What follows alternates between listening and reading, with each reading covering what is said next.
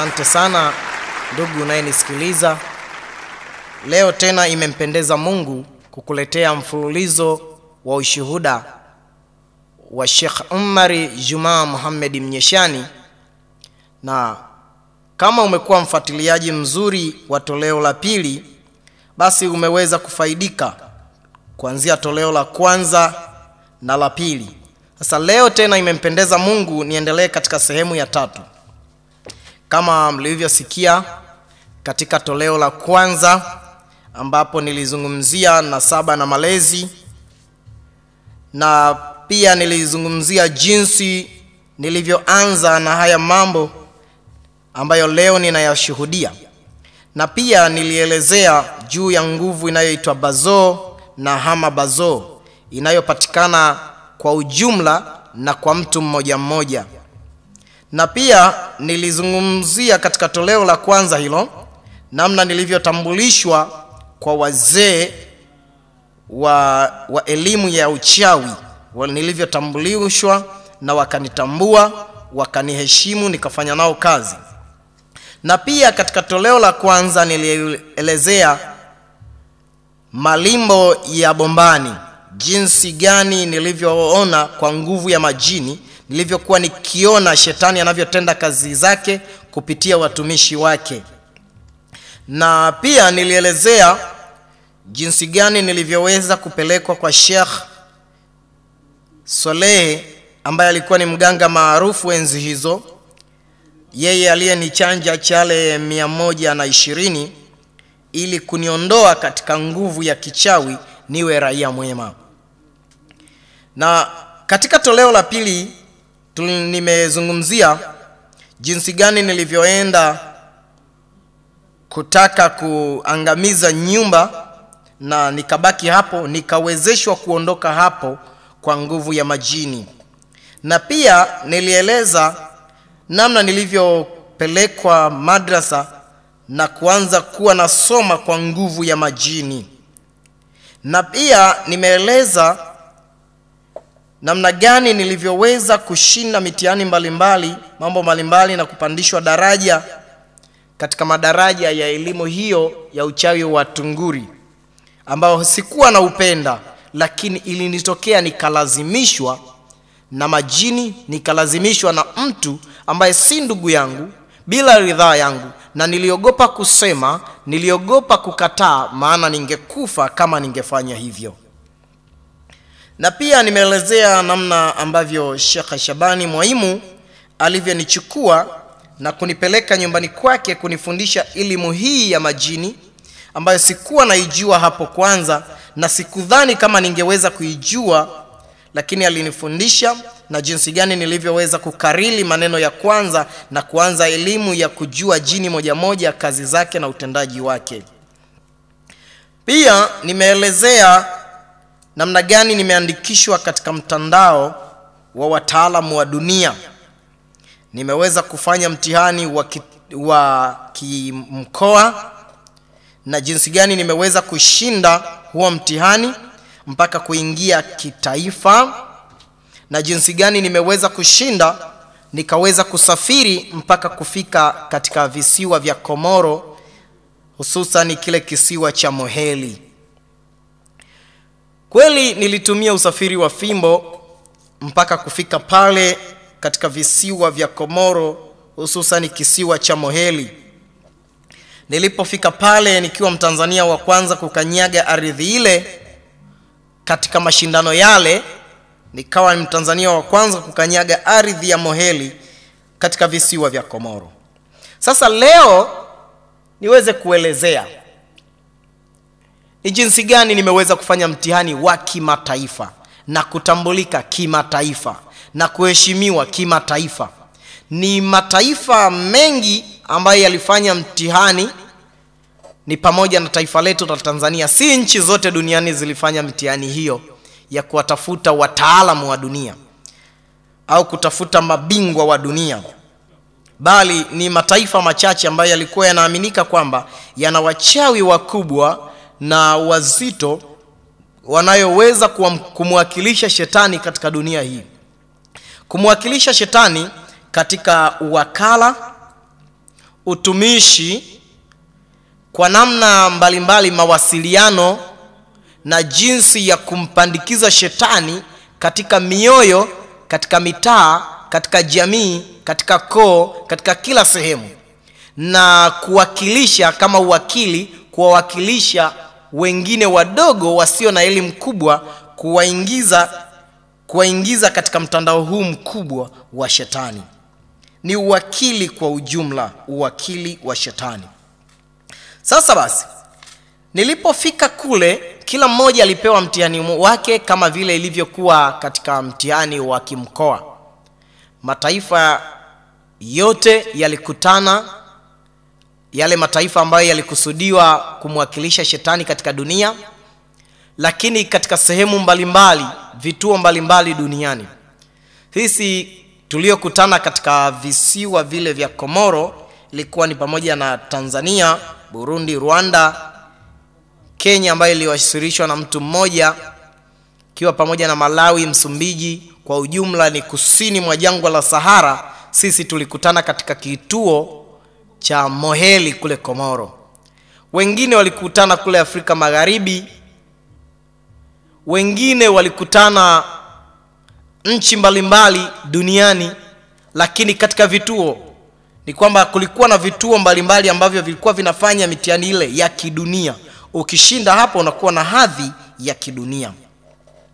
Sasa basi mtihani niliyopewa mimi baada ya kufika na kabla ya mtihani nilikutana na mtoto mmoja mdogo ambaye yeye alikuwa ni mdogo kuliko wote tulioshiriki katika yale mashindano ya kidunia kumtafuta mtaalam kumbuka mambo haya yote ndugu zangu wote hawajui jamaa zangu majirani zangu watu wengine wote raia waliowema hawajui kama mambo makubwa kabisa yanafanyika kwa usiku huu na kwa watanzania ambao wamewazoea wanawaona ni raia wema ni mashekh ni viongozi wa kiserikali au wa, vyama au viongozi wa kiukoo wa kimila. Lakini tulikuwa watu wa mchanganyiko mbalimbali tukiwa tunashiriki haya mambo watanzania wenzangu hawakuwa wanajua. Hii ni siri ambayo sasa mimi ninaitoa. Sidhani kama kuna mtanzania yeyote ambaye aliwahi kutoa siri hii. Huenda mimi nikawa wa kwanza. Na namwomba mungu uendelee kusikiliza kitu gani kiliendelea. Nilipewa mtihani mtihani niliyopewa nikaambiwa unatakiwa sasa hivi hapo ulipo utupatie lita zipatazo saba za damu ya binadamu. Hizo lita saba za damu ya binadamu zitaandaa meza yetu. Uiandae meza yetu hii ambayo imekuwa kimya. Nikauliza niiandae meza kwa damu ya binadamu? Nikaambiwa naam. Nikauliza tena hiyo damu ya binadamu nitaipata wapi? Nikaambiwa damu ya binadamu kama unaweza kuitoa mwilini mwako hewawa. Kama unaweza kumkamata mmojawapo katika watu hawa waliofika hapa sawa sawa. Kama unaweza kutumia njia yoyote ile fanya. Lakini inachotakiwa ni damu ya binadamu. Lita saba. Meza yetu hiki kikao chetu kabla hakijaisha damu hiyo imefika hapa na tuanze kuendelea na shughuli hii sasa basi nilichokifanya kwanza nilifadhaika. Halafu nikaomba vifaa vya kuchukulia hiyo damu. Nikaambiwa hatukupi vifaa kwa sababu tukikupa vifaa tutakuwa sisi tumeshiriki kukupatia hiyo damu. Wakati huo ni mtihani wako unatakiwa ushinde mwenyewe bila mtu kukusaidia. Sasa tukikupatia vifaa tutakuwa tumeshiriki baraka zako tutakuwa tumeshiriki kazi yako tutakuwa tumeshiriki mtihani wako. Nikawa katika mtihani mgumu sana katika maisha yangu ambao sintausahau katika maisha yangu. Mwalimu wangu akajaribu kunitia moyo lakini bado akili yangu iliwaza mbali maana niliogopa kifo kuliko kitu chochote. Niliogopa kifo kuliko chochote kile. Hata nikisikia mungu sikuwa naogopa kama nilivyokuwa naogopa kifo hata nikisikia kwamba majini yanakuja sikuwa si, nilikuwa siyaogopi kama nilivyokuwa nikiogopa kifo. Nilikuwa simwogopi shetani kumwona uso kwa uso kama nilivyokuwa nikiogopa kifo. Unaponitajia kifo basi akili yangu moyo wangu vinahama na kwenda mbali sana. Kwa hiyo hapo nilichanganyikiwa kwa sehemu. Baada ya hapo mwalimu wangu akaniambia usiogope hebu jipe moyo. Utaweza. Nikafikiri nikaangalia wale watu waliofika pale nikasema nimkamate nani nimtoe damu? Au nitoe mwilini mwangu lita saba si nitakufa? Ninaweza nikatoa damu lita saba mwilini mwangu? Kweli? Hapana haiwezekani. Nitakufa. Basi nilichokifanya nikatoka. Nikaambiwa toka nje ukafanye hicho tulichokuagiza. Nikatoka nje ya lile pango maana lilikuwa ni pango. Sidhani kama wenyewe wenyeji wa mji wa moheli wanalitambua hilo pango. Bila shaka nina nina vigezo kwa asilimia tisini na saba kwamba huenda wenyeji wa moheli hawalifahamu hilo pango lilivyo. Na huenda hata wakipita maeneo, maeneo hayo hapo hawalioni na hilo pango lilikuwa limekaa kikuzimu kuzimu kabisa. Sababu nilikuwa nikiitambua miji mbalimbali ya kuzimu na hilo pango lilikuwa limekaa kwa namna hiyo ya kikuzimu kuzimu. Kwa hiyo ndio maana ninasema ninavyo vigezo vya kusema kwamba wenyeji huenda walikuwa hawalijui hilo pango.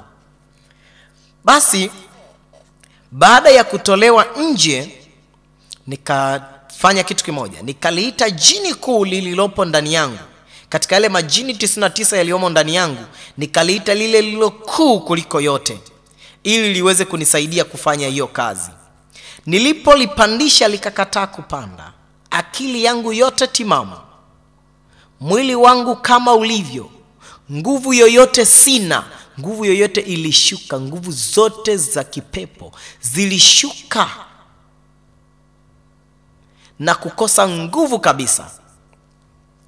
Basi baada ya hapo nikawa nikawa ni, sina nguvu. Ninapozungumzia nguvu kushuka ninaposema nguvu unapozungumzia nguvu ya mapepo kushuka ni kupoteza uwezo wake wa kimapepo. Ni tofauti na nguvu ya mungu. Unaposema nguvu ya mungu imeshuka ni kudhihirisha nguvu zake. Nguvu ya mapepo inasema unasema inapanda. Nguvu ya mapepo ikipanda ni kudhihirisha nguvu yake. Lakini ikishuka ni kupoteza nguvu yake. Nilitaka twende sawa kwa, na, kwa kipengele hicho. Kwa hiyo nguvu ile ilishuka. Nikawa sina msaada. Nikatoka nikaenda mbele kidogo nikajaribu tena kuliita jini. Zile nguvu zangu zikawa zinashuka zinapoteza uwezo wake nikaona sasa sina jinsi ya kufanya. Nikaanza kutembea tena. Kumbe nilikuwa karibu kabisa na lile pango nilikuwa siko mbali sana. Kwa hiyo kuna nguvu fulani ambayo inapatikana kutoka kwenye ile pango na mimi sikutakiwa kusaidiwa chochote. Kwa hiyo yale mapepo yalikuwa hayapandi kwa sababu yakipanda na kuanza kunisaidia kuna nguvu fulani kutoka kwenye lile pango inaweza ikanisaidia na sikutakiwa nisaidiwe kwa hiyo nikaendelea kutembea mbele nikawa ninawaza pamoja na kwamba nilikuwa nawaza kifo lakini niliwaza pia kwamba watu wakinikuta hapa wakinikamata watasema huyu mtoto anafanya nini? Kwanza ni nchi ya watu. Nimeingiaje katika nchi yao? Na mimi ni mwenyeji wa nani? Nimefikia kwa nani? Nimekuja kujaje? Nitaelezaje katika nchi ya watu? Nikawa ninatembea ninatembea huku ninawaza kifo na ninawaza pia kukamatwa. Nikatembea umbali kidogo nikajishtukia kuna nguvu fulani imenivaa. Nikaliita jini lilomo ndani yangu likapanda sasa kwa nguvu kubwa likaninyanyua juu angani. Nilipofika angani nikawa kwa, kwa namna tofauti kabisa. Nilikaanza kuangalia viungo vya mwili wangu sikuviona. Nilishangaa sana nilifika katika umbile gani. Nilistaajabu mno. Nikaangalia mikono yangu sikuiona. Kuangalia miguu yangu sikuiona. Viungo vyote vya mwili wangu vikawa havionekani lakini ninaona niko juu. Nikitazama chini nikawa ninatazama ninaona majengo ya mji. Yani, yani ninaona kitu kinachoniashiria kwamba yale ni makazi ya watu. Ninaona taataa tu katika nyumba. Yani inaniashiria kwamba yale ni makazi ya watu ni usiku.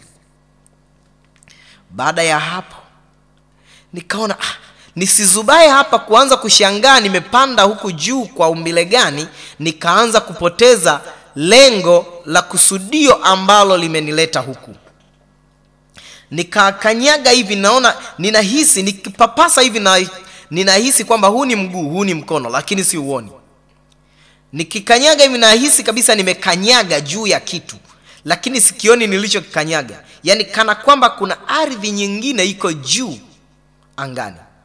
Nikaanza kutembea. Nikapiga hatua naona nate- natembea tu. Tena natembea bila kukutana na mawe wala majani wala mti yaani kana kwamba kuna ardhi iliyonyooka vizuri sana ikiwa angani. Nikatembea ninatembea sijui ninakoelekea lakini nikawa ninaelekea upande wa baharini. Kwa sababu hiki ni kisiwa kumbuka kisiwa cha moheli katika nchi ya komoro. Nikatembea kusogelea bahari. Nilipofika karibu na bahari nikaona taa kubwa sana ikiwa baharini nikaona taa kubwa sana inatembea katikati ya bahari. Kama inakuja huku niliko. Nikaanza kutembea na mimi kufuata upande wa bahari kuingia upande wa bahari. Nikatembea ninaangalia chini naona kabisa hapa niko nchikavu upande wa nchikavu. Nikatembea mpaka upande wa bahari nikahisi labda kwa sababu chini kuna ardhi ambayo wanadamu wa kawaida wanaitumia. Na mimi niko juu kana kwamba kuna ardhi ninayoitumia mimi kwa nguvu ya majini basi nikiingia kwenye bahari pia huenda patakuwa na bahari ambayo nitakuwa ninaitumia mimi juu kwa uwezo wa majini lakini ilikuwa ni kinyume. Nikatembea nikakuta bado ninakanyaga sehemu ngumu hata baada ya kuingia upande wa baharini. Nikatembea upande wa baharini nikaanza kutembea nahisi kabisa kwamba ninaona kabisa kwamba bahari iko chini yangu. Nikawa natembea naisogelea ile taa lakini ni hekima gani ilinituma kule kwenda kule? Sikuwa najua ni hekima ya namna gani ilinituma. Lakini nikawa ninakwenda naisogelea bahari. Nikaisogelea bahari nikaendelea kuisogelea ile bahari mpaka nikafika karibu kabisa na ile taa.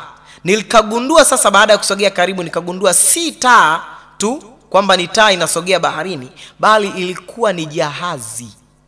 Limebeba watu wengi sana nikaanza kuangalia wale watu waliobebwa nikasema ah, basi hii jahazi litakuwa ni la wavuvi. Wanavua saizi. Nilipowatazama nikaona sio wavuvi. Sio wavuvi. Ah, kwa sababu wavuvi kwa kawaida tu wanaonekana kuwa na mtazamo mmoja.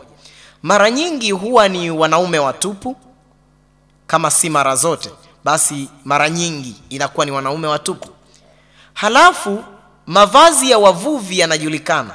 Hakuna mvuvi anayeweza kuvaa suruali na shati akafunga na tai au akavaa na koti akashika na briefcase pembeni au pochi au kama ni mwanamke akavaa vizuri akaweka na handbag yake pembeni mkoba mdogo wa mkononi. Lakini wale walikuwa wanaonekana kwa namna hiyo yaani wanaonekana ni wasafiri nikasema hawa wanaonekana ni wasafiri si wavuvi. Hakuna wavuvi wanavua kwa namna hii. Basi baada ya kuona kwamba wako katika mtazamo wa kisafari safari likaja swali tena jingine. Kwa nini wanasafiri usiku? Nikawa najiuliza sipati jibu. Saizi ni usiku mwingi. Kwa nini wanasafiri usiku kama ni wavuvi nimekumbuka kwamba nimetumwa damu lita zipatazo saba. Na sharti moja ambalo nilipewa ni kwamba kuzidisha yani kuleta saba nane na kuendelea inaruhusiwa. Lakini kuleta sita kushuka chini hairuhusiwi ni kosa. Na niliambiwa kwamba ukishindwa kuleta lita zipatazo saba na kuendelea za damu ya binadamu utakufa na sio kufa tu bali hata kama na sio kufa tu sio kufa tu unaweza ukafa kwa mateso makali sana. Au kama utapona basi utapoteza viungo vikubwa vya mwili wako kama mikono au miguu. Au utapata kichaa cha maisha. Vitu kama hivyo yaani hapo ni kama nimenusurika na kifo basi nitapoteza viungo vikubwa vya mwili au kupata kichaa. Lakini sehemu kubwa ni ya kupoteza maisha endapo nitashindwa kuleta lita zipatazo saba za damu ya binadamu. Sasa nikaona ya tafakari hapa nimeambiwa nitakufa nisipoleta lita zipatazo saba za damu ya binadamu. Sasa natakiwa nisababishe ajali. Lakini yaweza kuwa hawa si binadamu wa kawaida. Kwa nini watembee usiku kama ni wanadamu wa kawaida? Nisije nikawa natafuta damu ya binadamu halafu hawa wasiwe binadamu nikasababisha ajali matokeo yake pengine ikawa ni majini wakanidhuru mimi nikaangamia kabla ya kabla ya adhabu hiyo ambayo itanikuta baadaye. Nikawa pia nina maswali ambayo hayana majibu kwa maana wakunijibu hayupo nikawa najiuliza sipati majibu. Lakini kumbuka wakati nikiwa ninatafakari jahazi linazidi kuelekea ufukweni. Nikasema sasa potelea mbali sasa. Kwa sababu jahazi linaendelea linaenda kasi linaelekea ufukweni. Pia inaweza ikawa ni binadamu sasa nikawaza na kuwazua kupita kiasi wakafika ufukweni nikashindwa kusababisha ajali matokeo yake nikaangamia potelea mbali niangamie nimeshaingia kwenye kazi ngoja niitende. Nilichokifanya nikaita mapepo wadogo wadogo. Elfu moja. Nikawaamrisha kwa maana kila nilipoita jini linisaidie lenyewe likuwa alisemi chochote. Lilichonifanya ni kunipandisha juu na nikatembea kule halisemi chochote majini yote mwilini mwangu yamekaa kimya. Nikaamua nichukue nafasi ile ambayo ingefanywa na, lile jini lilomo ndani yangu. Ile nafasi ambayo ingechukua lile jini nikaichukua mimi. Maana lenyewe lilitakiwa li, li, yale ma, mapepo liyagawe kwa makundi mawili mia tano huku mia tano huku. Nikatuma mia tano yakaingia kwa nahodha. Mapepo wadogo wadogo ambayo yangeweza kumwingia bila kumpotezea ufahamu na bila mtu kujua kwamba naodha ameingiwa na mapepo. Nikatuma mengine mia tano yakaenda kwenye jabari moja au kisiwa ambacho kilikuwa kinaonekana kama kipo au hakipo hivi. Hicho kisiwa.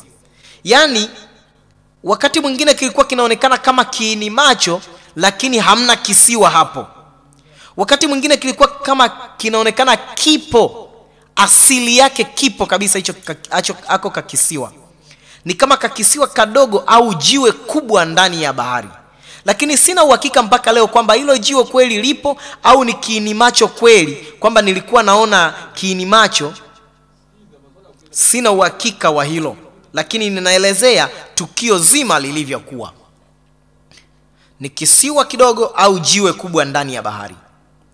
Basi le jahazi likawa linakuja kukawa na mvutano kati ya mapepo yaliyomo ndani ya nahodha wa jahazi na yaliyomo ndani ya jiwe lile kubwa au kakisiwa. Basi kukawa na mvutano. Ule mvutano ukasababisha huyu nahodha alione jiwe lile liko mbali sana.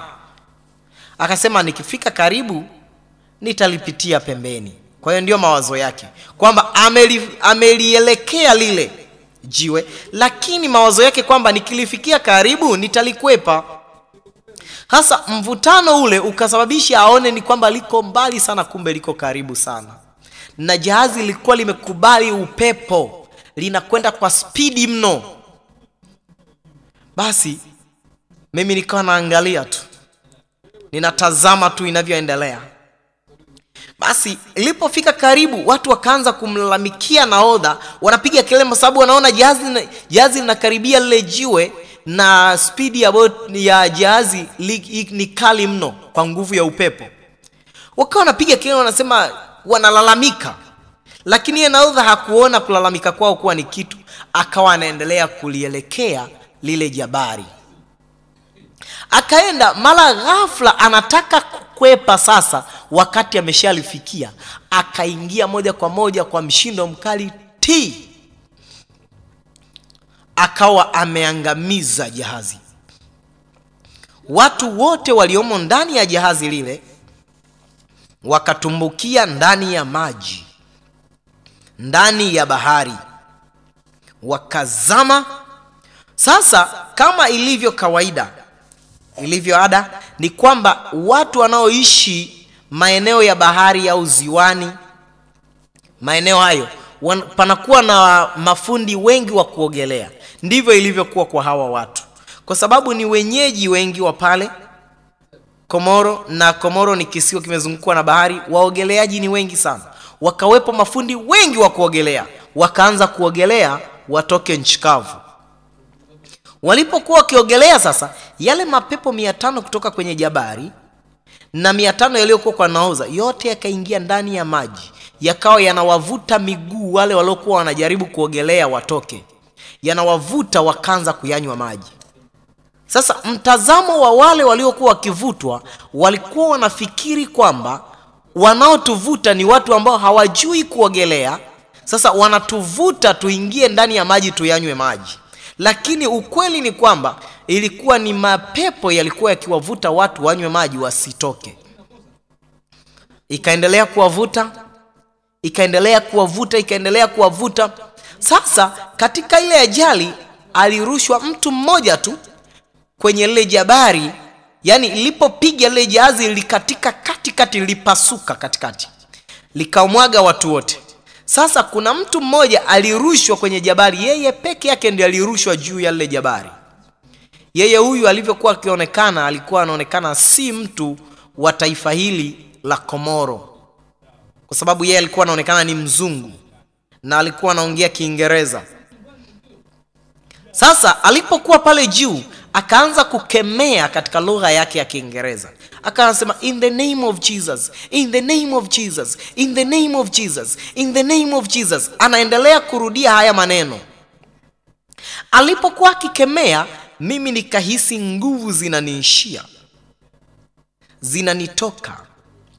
Kuna neema ambayo inapatikana kwa kulitaja jina la yesu. Baada ya hapo sasa nikawa naona nguvu zinaendelea kuniishia. Nikaona sasa nitapoteza nguvu zote alafu nitaumbuka nitakufa. Cha kufanya haraka haraka nikalipandisha jini jingine tofauti na lile lililonileta pale. Maana ndani yangu kulikuwa na majini 99 yote kila moja ilikuwa na kazi yake. Nikaliita jini husika la shughuli kama zile. Jini ambalo liliweza kuunguruma kama simba. Nikaanza kutoa muungurumo mkali kama simba maana alipokuwa anawakemea mimi nguvu zilikuwa zinaniishia na wale watu wa, yale mapepo yakaishiwa nguvu kule ndani ya bahari. Watu wakaanza kupata ahueni wale ambao hawajanywa maji mengi wakaanza kuogelea tena. Sasa nikasema sasa hao watu wakipona mimi nitakuwa nimeangamia. Maana lengo ni kupata damu. Nikaanza kupambana na ile hali nikatoa mungurumo mkali yeye aliposikia muungurumo mkali kama wa simba akaanza kuogopa akaanza kuhofu akaanza kutetemeka akaacha kukemea. Alipoacha kukemea sasa na mimi naendelea kuunguruma nikaendelea kuchochea nguvu nikaendelea kuyasukumia yale mapepo nguvu ambayo nilikuwa nayo kule juu yenyewe mapepo yakapata nguvu upya yeye akawa anatetemeka kibinadamu. Anaogopa kibinadamu kabisa. Ameacha kukemea amesahau jukumu lake. Kwa hiyo akawa yuko katika uoga. Anaogopa anataka kuinusuru roho yake. Na hapo ni, ki, ni nilifanya kitu ambacho nilijifunza kabisa chuoni. Ni kitu ambacho nilijifunza kwa yule mwalimu wangu namna ya kufanya ninapokutana na mambo mazito kama hayo. Kwa hiyo nilikuwa nimepata elimu ya kutosha ilikuwa mambo nilikuwa ni, nina uwezo wa kufanya jambo kulingana na wakati na mabadiliko ya kitu. Kwamba ninaweza nikafanya kitu kisifanikiwe basi nikageuza haraka haraka nikatenda kile kinachotakiwa kukifanya kwa wakati huo. Kwa hiyo sasa nikaweza sasa kuyashikunani kushawishi akili yake nikasogea karibu na yeye kabisa. Nikaa natembea yeye akawa hanioni kama sura yangu nilionayo hii sasa. Lakini alikuwa anaona kitu kama wingu jeusi sana wingu dogodogo linatembea linaenda upande huu linarudi upande huu na kweli mimi nilikuwa ninahama kutoka upande huu na upande huu. Na mwelekeo wa macho yake akiyageuza huku na huku nilikuwa naona kabisa kwamba huyu alikuwa ananiona. Lakini alikuwa hanioni kwa sura ya kawaida ya kibinadamu. Alikuwa anaona ni wingu linahama kiwingu kidogo kimemshukia karibu kinahama kwenda kulia kwake na kushoto kwake. Kwa hiyo akawa anaogopa kibinadamu kabisa baada ya hapo yale mapepo yakaanza kuzamisha watu ndani ya maji. Yakazamisha mmoja baada ya mwingine mmoja baada ya mwingine. Mwisho yakazamisha watu wote. Wote wakazama na idadi ya watu waliozama ilikuwa ni idadi ya watu kama arobaini na arobaini mpaka hamsini hivi ndio idadi ya watu walio waliozama katika chombo kile katika jahazi lile. Baada ya hapo kuangalia watu wote wamekwisha teketea kasoro huyu mmoja. Sikuwa na sababu tena ya kuangaika na huyu mmoja kwa sababu najua katika idadi kubwa ya watu namna hii nitakuwa nimepata nimepata damu ya kutosha hata hizo lita saba walizotaka zitakuwa zimezidi. Nikarudi kwa kutembea tena juu kama nilivyotembea kwa kuja nikatoka eneo la bahari nikaanza kutembea mpaka eneo lile ambalo nilirushwa kwenda juu. Basi nilipofika pale nikajishtukia tu nimeshushwa chini haraka sana kwa nguvu. Nilipofika chini nikaona viungo vya mwili wangu. Ninaanza kuviona viungo vya mwili wangu. Kiungo kimoja baada ya kingine. Nikaona ah, kumbe juu nilikuwa kwa namna tofauti na sasa nikaanza kutembea kurudi katika lile pango la mitihani katika kile kituo. Nikarudi nilipofika katika kituo nikaingia tu. Sasa nilipokuwa nikifanya hayo yote nilikuwa nikionekana moja kwa moja ndani ya kituo kile. Sasa niliporudi nafika tu mlangoni mwalimu wangu na rafiki yangu mwingine kipenzi alikuja kunipokea. Walikuja kunipokea wakasema hongera sana damu imefika tena nyingi mno. Nilipofika kwa yule mzee ambaye yule mjumbe kutoka kuzimu jini ambaye amekuja kutupa mitihani nika akasema hongera kwa sababu umeshinda mara mia zaidi ya vile tulivyokusudia. Sasa mara mia hakuniambia mara mia kwa namna ipi lakini mara mia inaweza ikaingia kwa sehemu mbili. Mara mia kwamba lita kama umetumwa saba basi zimefika mia saba. Au mara mia kwamba umetenda kwa utendaji bora zaidi mara mia kuliko vile ulivyozaniwa kufanya. Kwa sababu nimepata vikwazo vingi nikatenda kwa uaminifu kwa hekima na kwa ustadi wa hali ya juu ambayo wao hawakutegemea. Wakasema umeshinda mara mia zaidi ya vile tulivyokusudia. Sasa basi baada ya hapo nikaambiwa unakaribishwa katika mtandao wa wataalamu wa dunia. Wewe ni wakala wa shetani katika dunia hii na wewe ni mzee mtu mkubwa kabisa unayeheshimika katika dunia hii. Basi nikajipongeza kwa lile nikapongezwa na marafiki zangu pia. Wakasema umefanikiwa ndugu. Wengine walishindwa. Basi kuna kijana mmoja huyu ambaye alitoka mombasa kenya. Alikuwa akiitwa umar huyu umari alifuatilia kwa makini hatua kwa hatua mtihani niliyopewa. Kwa sababu kila mmoja alipewa mtihani wake ambao haulingani kabisa na wa mwingine wengine iliwalazimu watoke ndani ya lile pango. Maana kuna wengine walipewa mitihani ya kutoka nje ya pango wasafiri kwa haraka kutoka sehemu hiyo na mpaka sehemu waliopangiwa na kurudi kwa muda waliopangiwa. Huo ni mtihani wao. Wengine walipewa mtihani wa kutoka nje ya pango na, kum, na kuleta kuna mwingine alipewa mtihani wa kumleta mtu ambaye alikusudiwa kuletwa humo atoke aende kamlete haraka pale. Ukiweza kumleta unakuwa umeingia katika mtandao huo. Wengine walipewa mitihani mbalimbali. Hapo hapo walipo wafanye mambo makubwa ya namna hiyo. Wengine walipewa mitihani ya kupotea. Katika ile pango yani pale watu wakiwa wanamuona katika upeo wa macho apotee mara moja na asionekane na wenzie. Huo pia ni mtihani ambao watu wamepewa wengine mitihani wao ilikuwa inawagharimu kifo endapo watashindwa na wengine ilikuwa kwamba akishindwa basi anakuwa hajaingia katika huo mtandao wa wataalamu wa dunia. Kwa hiyo kila mmoja alipewa kwa mtihani wake na ahadi zake katika mtihani huo. Mtihani wangu mimi baada ya kushinda nikaambiwa unapewa nishani ya heshima.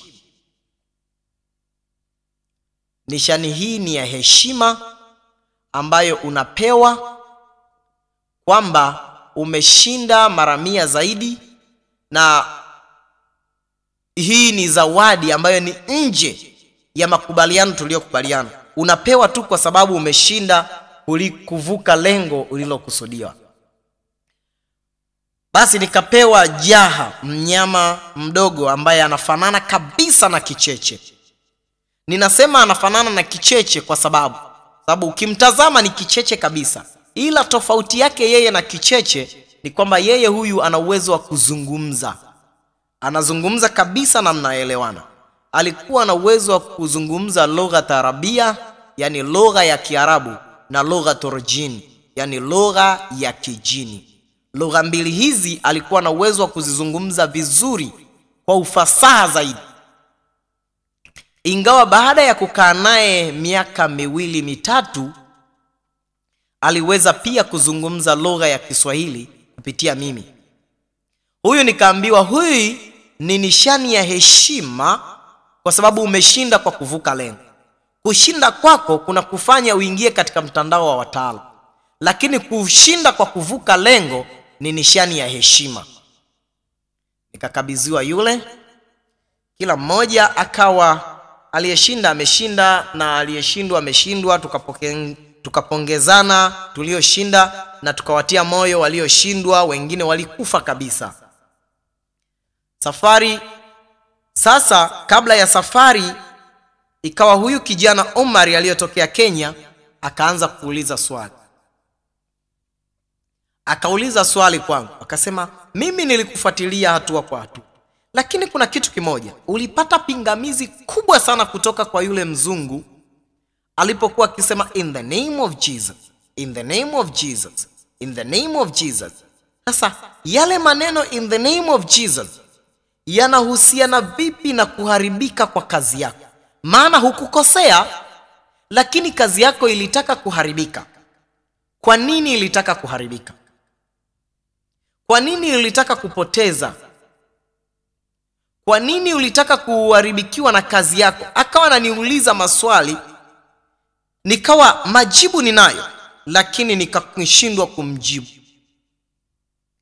Ingawa majibu ninayo kupitia vitabu ambavyo mimi nilisoma yeye hajasoma na kwa elimu nilikuwa nimemzidi mbali sana. Elimu niliyokuwa nayo mimi ni kubwa. Nilijua uwezo wa jina la yesu kwa hali ya juu mno kwa sababu nilitambua kwamba yesu alizaliwa kwanza kimaajabu na hata kukua kwake kukawa kimaajabu na hata kuzaliwa kimaajabu kwa mujibu wa elimu ile niliyopewa. Kwamba huyu alikuwa hawezekani yeye na jina lake kwa maana jina lake halisi alikupatikana bali lilipatikana ya jina yesu ambalo ni nguvu ya juu na uwezo wa juu wa kimungu kuliko uwezo wowote ule. Hili nitalieleza katika toleo moja ambalo ni maalo ambalo nitaeleza juu ya nguvu za mungu kupitia jina la yesu. Ni namna gani majini yanamwelewa yesu na yanatambuaje yanatumiaje jina hili? Majini yenyewe yanatambuaje jina hili? Yanalitumiaje? Yaani matumizi ya jini ni namna ya kulikwepa. Yanalikwepaje na namna ya, ku, ya kuiangamiza majini kupitia jina hili? Sasa kwa leo nikupe tu ushuhuda wa jinsi vile al, alivyoweza kubabaika huyu kijana omari. Huyu kijana omari akawa anaendelea kunidadisi. Mimi sikumpa jibu sahihi. Nikamwambia mimi sijui ingawa nilikuwa na juu akajaribu kumuuliza mwingine na mwingine na mwingine na mwingine. Alikuwa ni kijana mdadisi sana. Alitaka kujua kuna nini cha zaidi? Ina maana yule mzungu ni mchawi kuliko sisi ambao tumekutana katika mtandao mkubwa wa kidunia namna hii. Yeye wakati huo watu wakikaa katika mtandao wa kidunia sehemu mbalimbali duniani yeye yuko safarini. Alafu ana nguvu namna hii. Inakuwaje? Hakupata majibu mazuri. Sasa katika ule katika sisi tuliokutana katika kile kituo cha moheli kule komoro palitangazwa bingwa wa jumla yaani huyo alishinda kwa kuvuka lengo kuliko wote. Kwa kuvuka lengo kuliko wote walioshiriki mashindano yale. Yeye huyu alikuwa anatokea na hisi kati ya pale komoro au madagaskar. Kati ya hizo sehemu mbili hivyo vyote ni visiwa sina uhakika mzuri wa kutosha. Akamfata yule akasema huyu atakuwa anajua mambo mengi kuliko yoyote yule aliyeshiriki katika mambo haya akamfuata yule akamweleza akamwambia katika kituo chetu sisi wa tanzania maana tulikaa katika makundi makundi kulingana na nchi. Basi akamwambia katika sisi wa tanzania kuna mwenzetu mmoja ambaye tuko naye yeye hatua kwa hatua aliweza kushinda vizuri.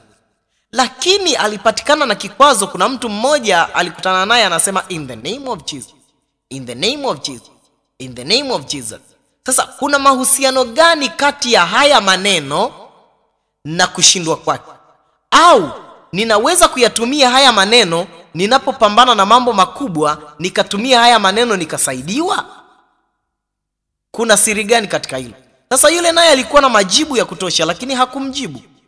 Alichokifanya akaja kutulaumu sisi akasema nyi wa tanzania mnamna gani? Mnakuja na mtoto mdogo huyu mtu hajui chochote hana lolote analojua anauliza maswali ya ovyo ovyo. Kwa nini mnakuja na watu wa namna hii? Kwa nini mnatembea na watu wa namna hii?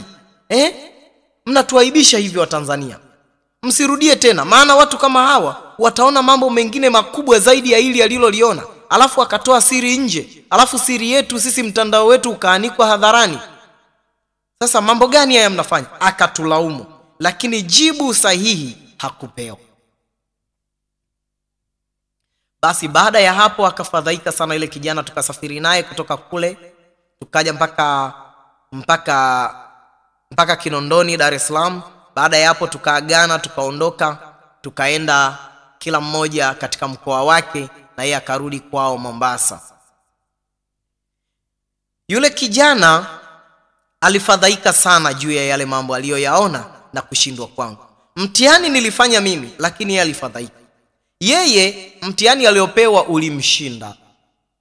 Alishindwa mtihani lakini mtihani aliyokuwa nao yeye haukumgharimu kifo endapo atashindwa. Ilikuwa kwamba angeshindwa asingeingia na angeweza angeingia. Kwa hiyo aliposhindwa akawa ameshindwa kuingia katika mtandao wa wachawi wakubwa wa dunia.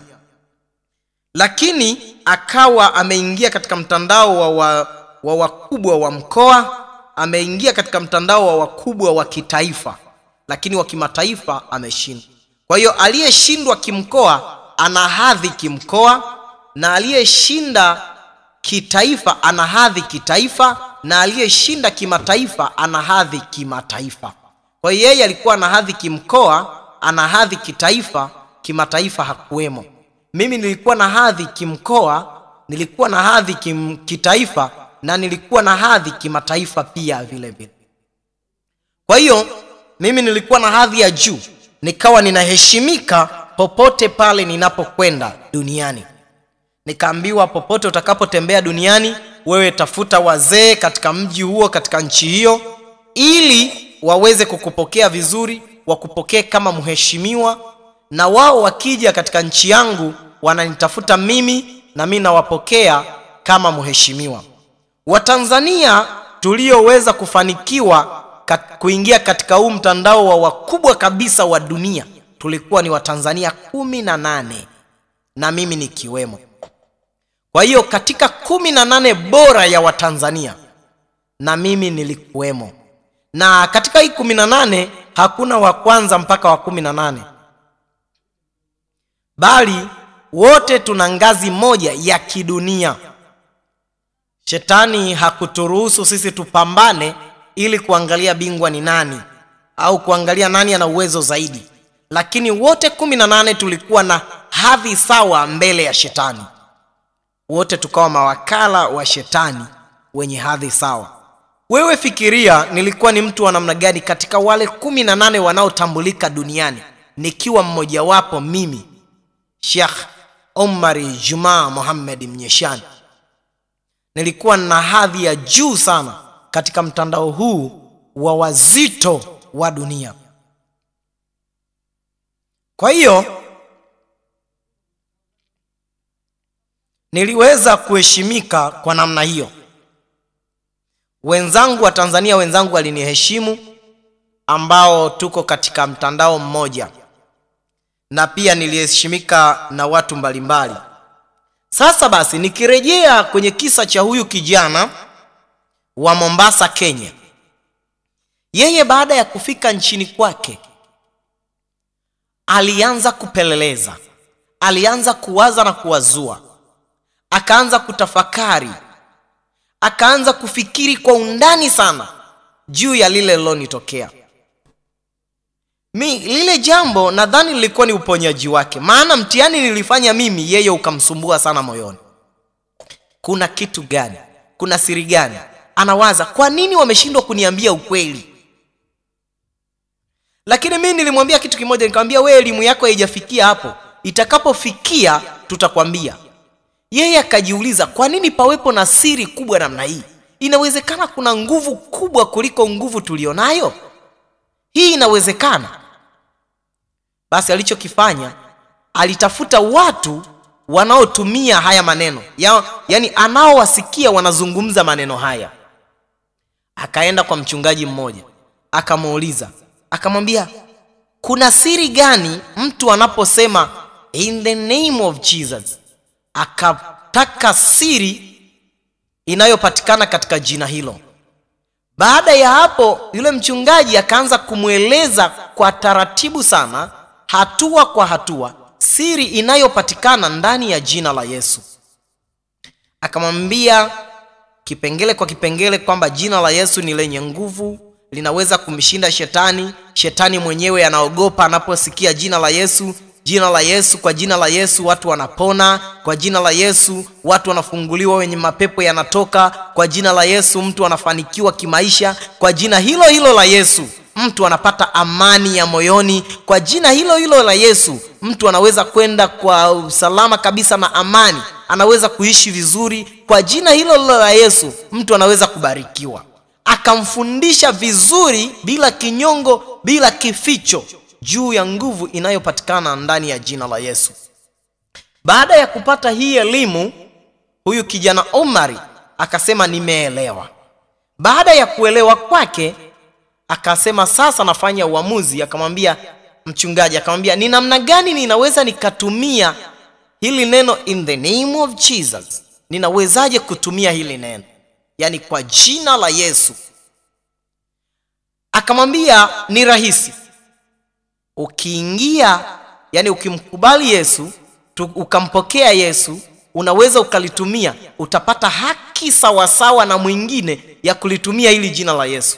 Lakini ukiwa nje ya yesu huna haki walio nayo wengine ya kutumia hili jina. Haki yako inakuwa ni ndogo sana lakini ili uwe na haki yote ya kutumia jina la yesu uingie kwa yesu maneno haya ni kwa mujibu wa maelezo yake aliyoeleza mwenyewe omari. Ni maelezo aliyoyaeleza mwenyewe omari katika ushuhuda wake aliyoueleza. Ushuhuda wa omari ni mtu ambaye ninamfahamu ambaye na mimi ni omari ni mtu ambaye nilikuwa naye. Na hata leo kama utakwenda kumuuliza utapata nafasi ya kumuuliza huyu umari basi atakueleza umari ninamfahamu vizuri na ninamfahamuje? Sasa basi akawa ameachana ikawa ni mtu wa kwanza duniani kuondoka katika mtandao wetu katika kipindi hicho ambacho tulikutana. Tuli, yaani kwa wale ambao tulikutana duniani kuunda umoja huo. Mtu wa kwanza kuchomoka katika mtandao huo duniani ni omar.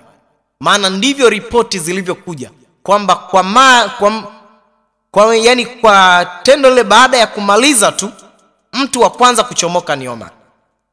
Basi akawa ametambua kweli mimi sikutambua kama siku moja ninaweza kuondoka. Nilijipa moyo kwamba huyu elimu yake ni ndogo ndio maana ameondoka. Lakini mwenye elimu kubwa kama mimi mtu mzito kama mimi mtu wa maana kama mimi duniani msomi siwezi kuondoka